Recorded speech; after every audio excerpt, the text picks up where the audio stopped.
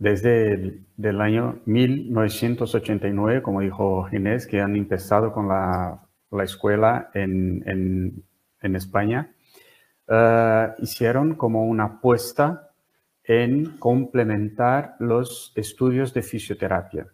Es muy diferente enseñar osteopatía a un fisioterapeuta do que, que enseñar osteopatía a un médico o a un enfermero, a un odontólogo o a otro profesional de la salud.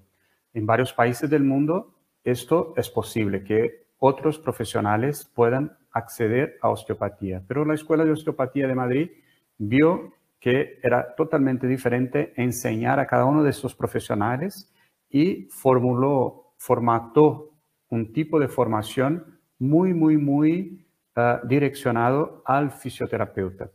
Y a partir de ahí, como dijo Ginés, y entonces Ginés junto con François, el otro fundador de la escuela, son los culpables de una cierta manera a todo lo que pasó en Sudamérica y toda, toda América hispanohablante, incluso Brasil, donde la osteopatía creció mucho de manos con la fisioterapia.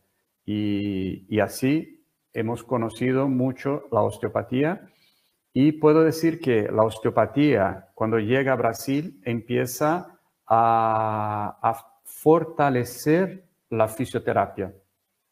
Había una fisioterapia antes de la osteopatía y hoy en día es otra fisioterapia después de la llegada de la osteopatía. Entonces, la osteopatía ayudó mucho a la fisioterapia y puedo decir que actualmente también la fisioterapia ayuda mucho a la osteopatía y crecen de manera conjunta. Y, y, esta es nuestra, nuestra manera de, de, actuar, o sea, complementar, ayudar, construir, y, y, creo que vamos por buen camino.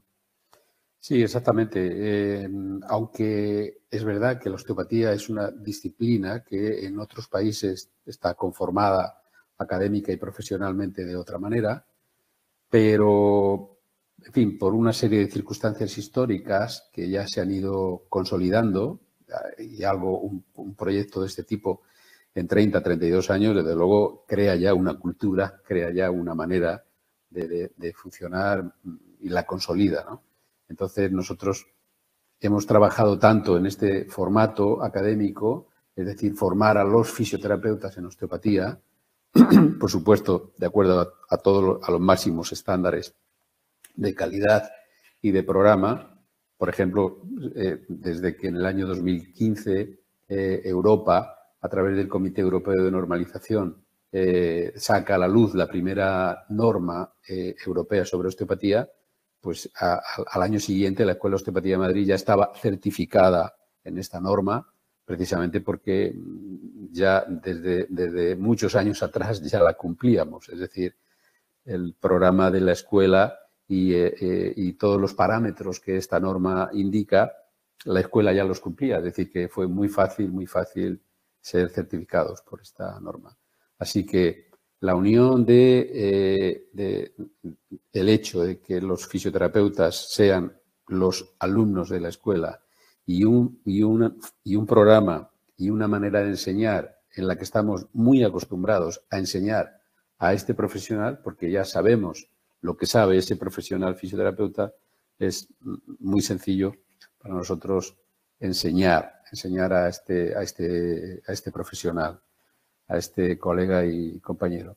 Así que con esa apuesta y con el tiempo que hemos tenido de desarrollarnos así, pues creo que eh, somos capaces de formar a un profesional de alto nivel de conocimiento y de calidad de acción diagnóstica y terapéutica.